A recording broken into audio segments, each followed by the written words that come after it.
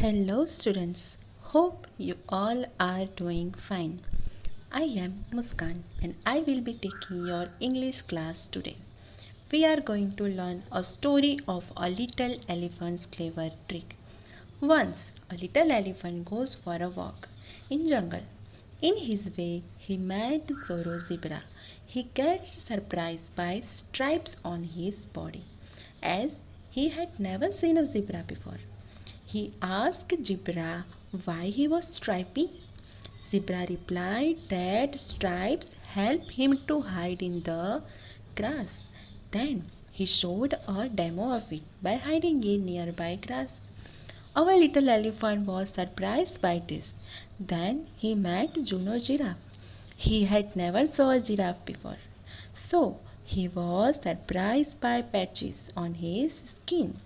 Giraffe said patches helped him to hide in the trees. Our poor little elephant got sad because his skin was plain. So he thought he couldn't hide anywhere. He kneeled down and started crying. Juno giraffe and Zorro zebra came back with Karo crocodile to find the elephant, but they couldn't find him. They saw a big old rock and wondered how big that rock was. You know who was that rock? Yes, you guessed it correctly. It was our little elephant that looked like a big rock when he was sitting down. Zebra and giraffe were surprised by elephant's ability to hide anywhere and they invited him to play hide and seek with them. Then they all played hide and seek and had fun together.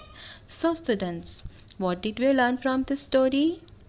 We all have some special abilities and we should be happy with them and not be sad by others' abilities.